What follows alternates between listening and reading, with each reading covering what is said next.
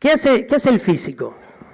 Tiene un determinado problema, que es su objeto de estudio, y sobre todo el físico teórico, eh, lo primero que intenta es establecer un modelo de ese problema.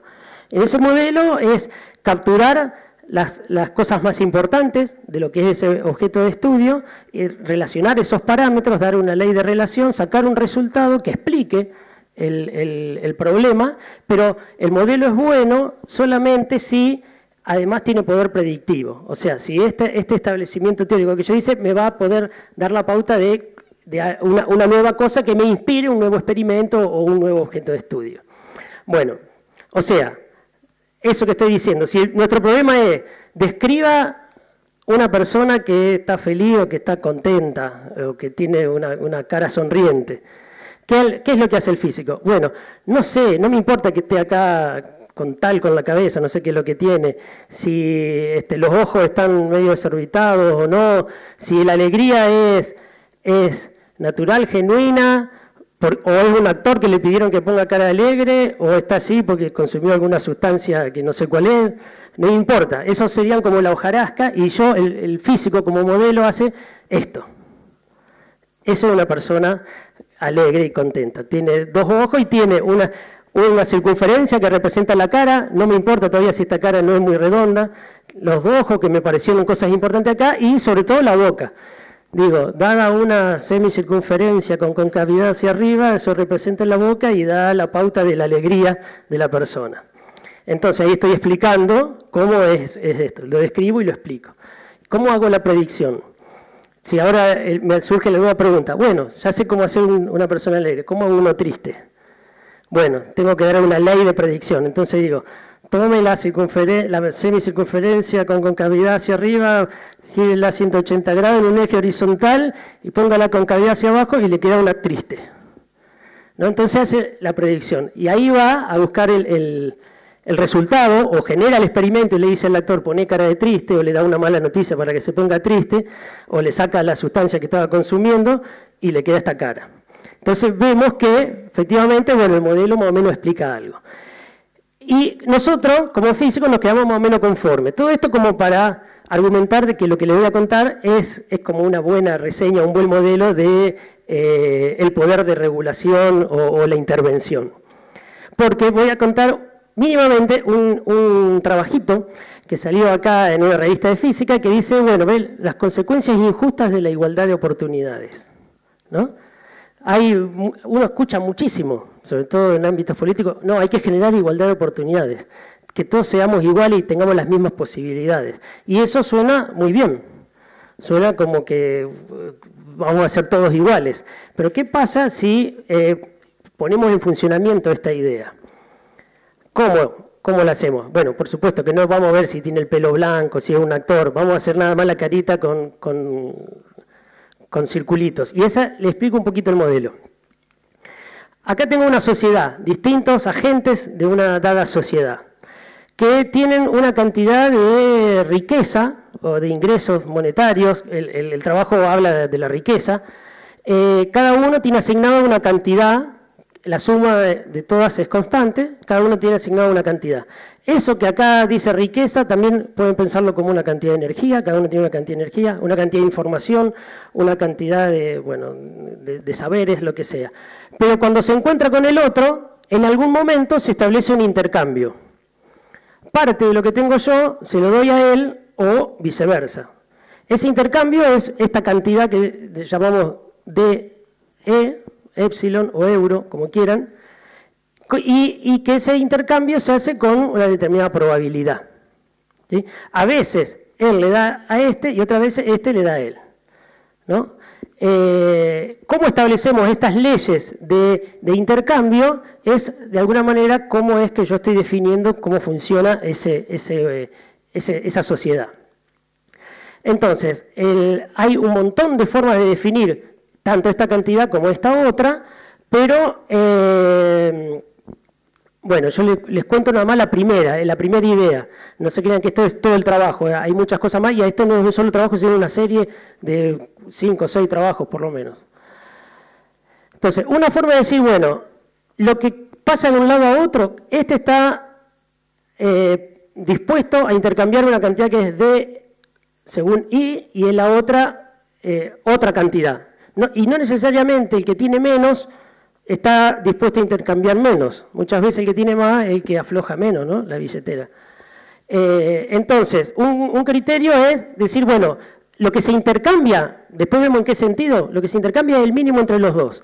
Eso sería, nadie puede ganar más de lo que está dispuesto a intercambiar. Si yo quiero, apuesto 10, no voy a ganar 20, a lo sumo gano 10. ¿sí?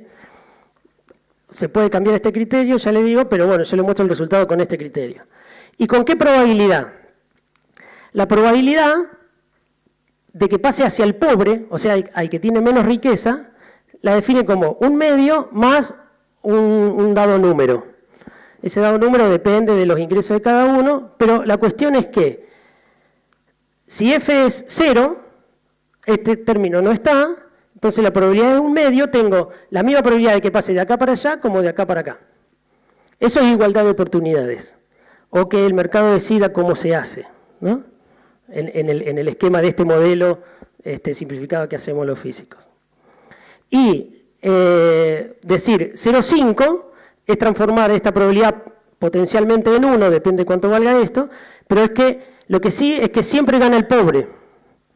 0,5 siempre gana, gana el pobre frente, siempre el, pasaje es con una probabilidad, en realidad no es que siempre es uno porque esto puede ser menor que uno, pero mayoritariamente pasa hacia el al de menos recursos. Y eso podríamos decir es populismo extremo, ¿no?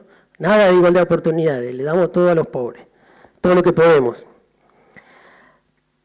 Entonces, se definen eh, algunos parámetros que esto es la probabilidad acumulada, es decir, la fracción de la población que tiene ingresos mayores o iguales a esta cantidad.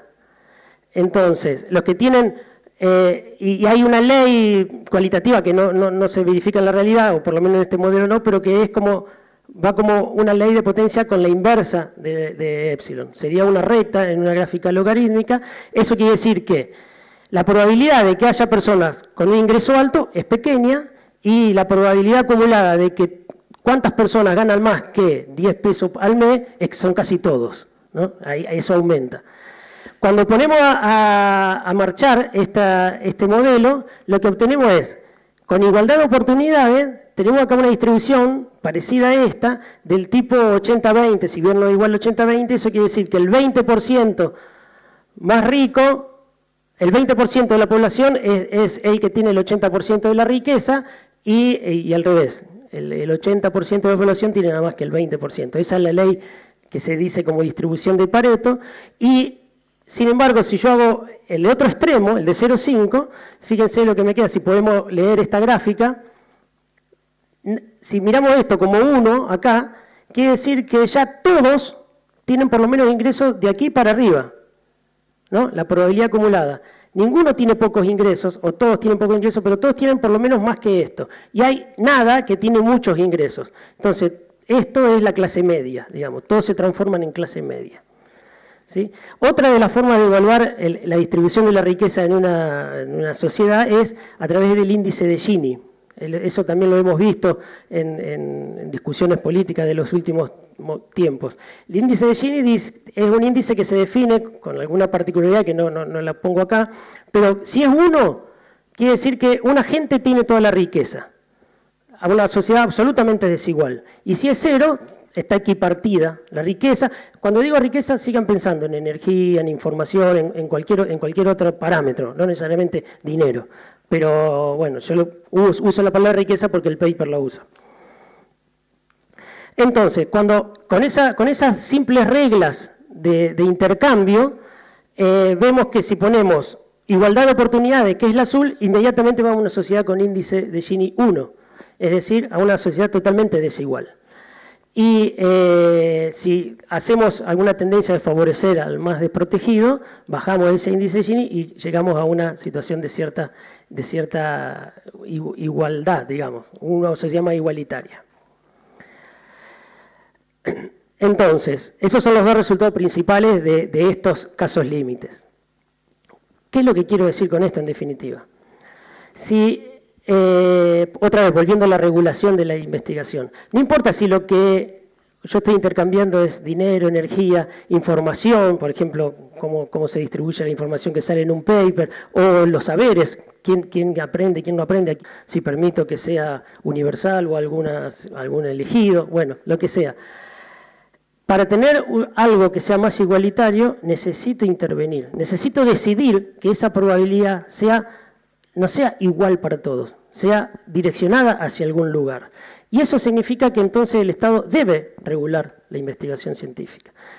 una conclusión extrema, mal que nos pese a mucho que nos gusta ser más rebelde y no usar saco frente a otro, es que para tener una sociedad más justa debemos institucionalizarnos. Ah, pero hay que ver cómo.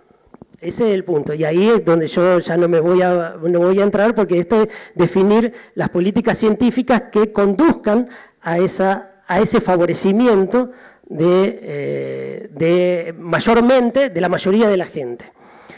Eh, justamente, todo, todo esto, eh, yo diría, hay que estar, siempre hay que estar regulado, hay que saber que nos van a venir líneas de financiamiento, por ejemplo, para hacerlo un poco más ejemplificado, líneas de financiamiento, van a cambiar los reglamentos del CAID, de la idea proyecto de los institutos, de la asignación de becas y demás, pero que todo eso nunca es ingenuo y todo eso tiene un sustrato y tiene una conducción, que hay que estar alerta de para dónde va y hacia dónde estamos favoreciendo. Sí, este, y, y qué es lo que nosotros pretendemos, queremos de ese favorecimiento o no favorecimiento. Ahí tenemos que sí eh, interpelarnos como un individuo institucionalizado. Cuando entramos al laboratorio buscamos nuestra rebeldía, pero ahí tenemos que interpelarnos y en todo caso rebelarnos a lo Barsaski contra a lo mejor una, mercadotecnia que, que no nos beneficia a la sociedad en la que vivimos.